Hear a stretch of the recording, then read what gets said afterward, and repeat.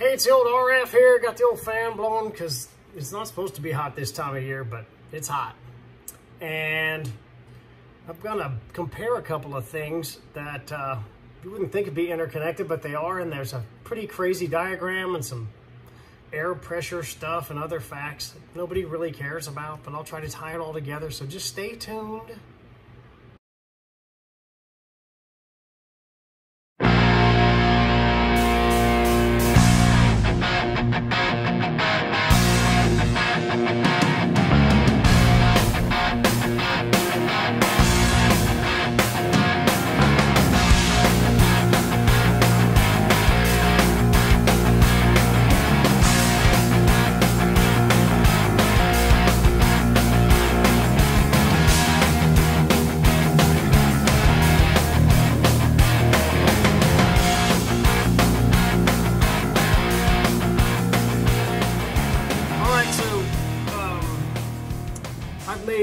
Friend, Daryl Barnett. Here's a couple of snapshots of Daryl Barnett. He studied ballistics and rockets and things that fly around relatively fast through his career. As I've always said, it's better to have smart friends than to be smart. And he has a full uh, presentation on forward of center and all this good stuff and some crazy scientific and super dynamic other topics is it'll be coming out future videos. I'm just going to try to focus on one thing here. And that is the trajectory of the arrow comparing two things and i'm going to talk about javelins a little bit. So apparently in 1984 there's a guy and he threw a javelin further than anyone and they think the record will never be broken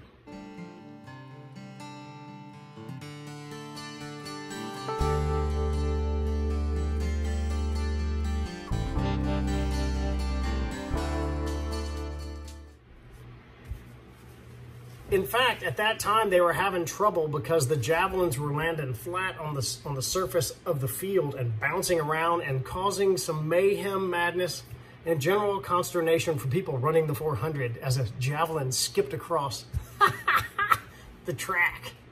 And they decided to stop having, you know, them bounce. Aside from the danger of it skipping across the track as some guys running, you know, 1600. When the thing lands flat on the turf, they can't really mark where it was, and nobody wants their javelin measurement from here. So if it hits the earth like this, they're going to measure that, I believe. I don't know. It'd be better if it'd be here because you know that's the furthest distance. Not a javelin guy, but let's just make an assumption. Think you'd want to do that. And that's the key. All right, atmosphere. Hmm, stay tuned for that. It's gonna get crazy. You don't realize that at sea level, there's 14.7 PSI of pressure pressure on you at all times. Just like a fish underwater doesn't realize there's water pressure because they've always been a fish. And they've swum up and down and it's all the same to them. But when your arrow is flying through the air, there's actually a force of the atmosphere on the arrow from the front all along it and as it goes along its trajectory, pressing on the arrow itself. Get that in your head. It's like you're shooting through fog or super thin ballistic gel would be a, a better, you know, kind of visual reference. So would you want the arrow to fly like this? Or would you want the arrow to fly like that? Since it's flying through something with force. It actually has a force on it. All right, so here's a diagram from the FireNock website. And it shows the flight of two different arrows. It shows one flying very flat like this with lower forward of center.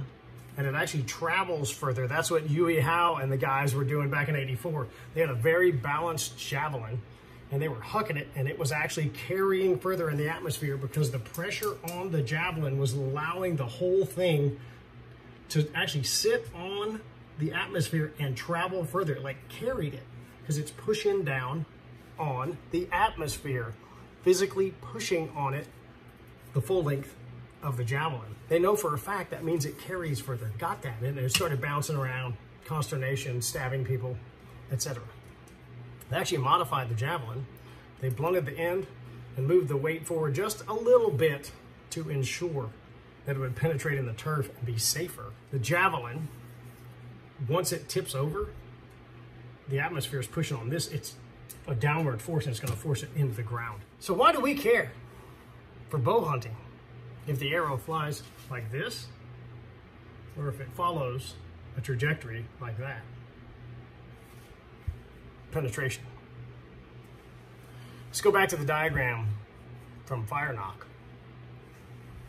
An arrow that's traveling and it's flat and it's carrying and landing like this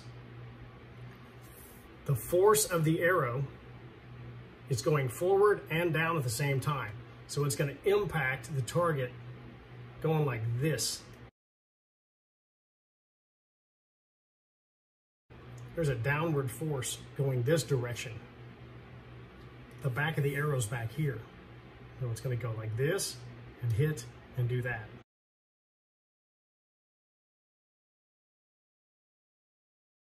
Javelin throwing, nobody cares. Well, they care. They fixed it so it would come in like this. When you hit an animal, I don't know if that makes sense to you, but it's, it would be logical that this force here, you don't want it to come in like that because the force is going to be this way and forward. You would prefer the arrow to come in with the tail behind it and drive the whole shaft in one direction.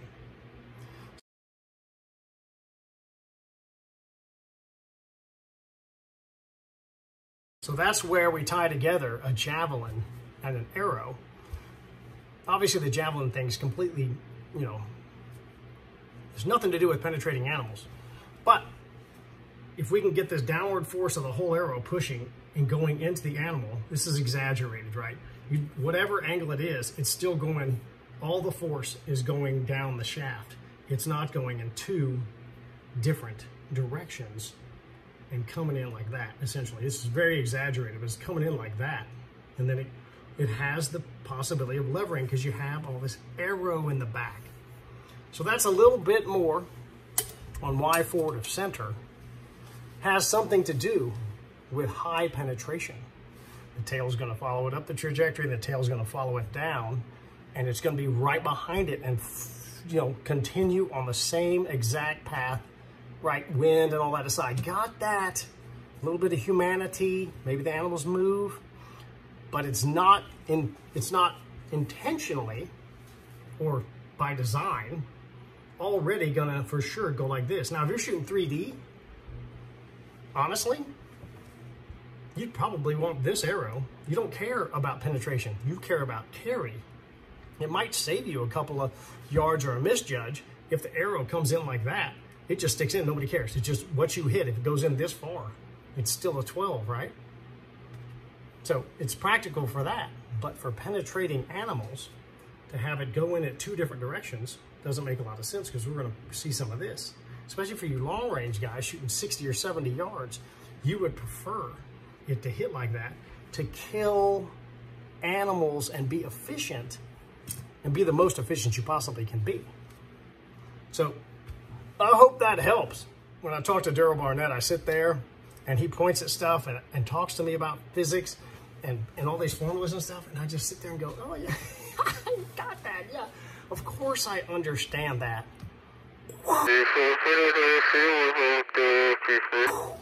And then blood starts coming out of my ears and then he sees that and he says, hey man, maybe we should talk about like shotgunning or you know, duck hunting or something more simple than, you know, your redneck freaking head can understand. So a little bit of a concept, something to think about, why you would want a higher forward of center arrow coming in with the tail following it and the, and the point pulling to increase penetration on animals. Hit the dirt, blow through them, knock them down, they go 40 yards.